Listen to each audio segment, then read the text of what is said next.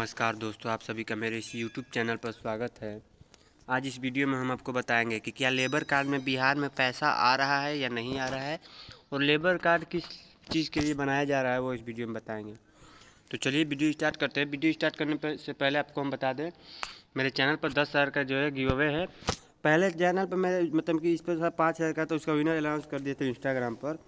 तो उस समय क्या था कि सिर्फ़ चैनल को सब्सक्राइब करना था, मगर इस बार क्या है कि यूट्यूब पर जब भी दस के सब्सक्राइबर होगा तो अब हम जो है विनर अनाउंस करेंगे और आपको यूट्यूब और इंस्टाग्राम दोनों पे फॉलो करके रखना है।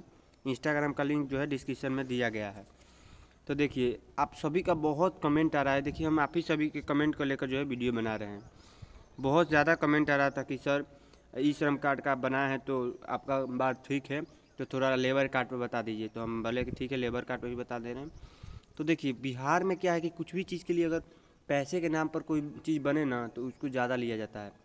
जैसे कि कोई भी डॉक्यूमेंट बनेगा और कहा दिया जाएगा, उसमें पैसा मिलेगा सरकार की ओर से तो वो लोग अगर नहीं भी बनवाने रहेगा, तब भी बनवाते रहते हैं, क्योंकि उनको लगता है कि पैसा इसमें मिलेगा, लेकिन ऐसा होता नहीं है, पैसा मिलता नहीं है। लेबर कार्ड बेसिकली एक लेबर डिपार्टमेंट को मतलब लेबर का जनसंख्या भारत में कितना है, इसलिए बनाया जा रहा है, इस पर कोई पैसा नहीं मिलता है। इसमें ये लेबर कार्ड है एक डॉक्यूमेंट की तरह है जैसे आधार कार्ड है उस तरह का लेबर कार्ड एक डॉक्यूमेंट की तरह है। कोई भी नगर पालिका में कोई भी काम आएगा तो आपके पास लेबर काम ले, लेबर कार्ड होगा तो उसमें जो है उसके तहत जो है आपको जॉब लग सकती है। बड़ा जॉब तो लगेगा ही नहीं छोटा हेल्पर लेबर कहीं जॉब लगेगी। तो इसमें कोई पैसा नहीं आ रहा है अभी बिहार में और ना आएगा कभी। ये एक डॉक्यूमेंट है और इस पर कोई अभी इसमें कोई उतना ऐसी भी नहीं है कि जैसे इस श्रम कार्ड में दो लाख का बीमा है इसमें कोई बीमा उमा भी नहीं है।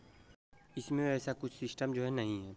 ये सिंपली एक डेटा बनाया जाता था कि भारत में कितना जो है लेबर या तो लेबर की जनसंख्या काउंट की जाती थी। इसके थ्रू जो है जनसंख्या काउंट हुई लेबर कार्ड के थ्रू कि भारत में लेबर कार्ड है और ई श्रम कार्ड में ज़्यादा तो डिफरेंट नहीं है, उस पर भी हम वीडियो बनाए, आप मेरे जाके चैनल पर देख सकते हैं।